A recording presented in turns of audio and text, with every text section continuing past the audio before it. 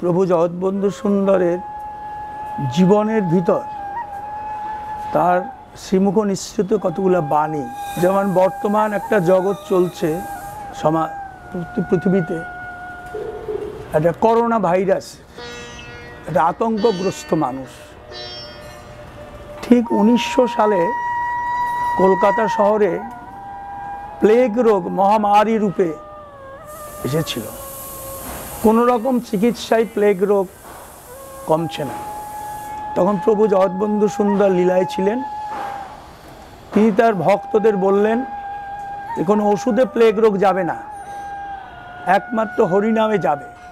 তোমরা তোমরা কলকাতা শহরে সম্মিলিতভাবে হরিনামের শোভাযাত্রা করো। সেই কীর্তন শোভাযাত্রায় প্রভুর ভক্তবৃন্দ সহ বিভিন্ন সম্প্রদায় যোগদান করেছিল। অন্যান্য উপরস্থ যারা ছিলেন, তারা ছিলেন। সেই হরিনামের প্রভাবে যে প্লেগ রোগ চলে গেল কলকাতার থেকে, আজ পর্যন্ত প্লেগ রোগ নেই।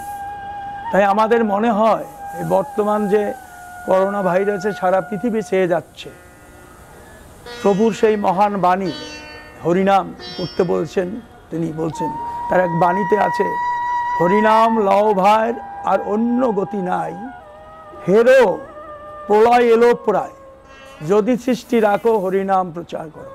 মনে হয় এই বাণীটি আজকের সমাজের পক্ষে যথোপযুক্ত। সত্যি প্রলয় এসে গেছে। এ প্রলয় থেকে রক্ষা পাওয়ার একমাত্র উপায় প্রভু নির্দেশিত হরিনাম।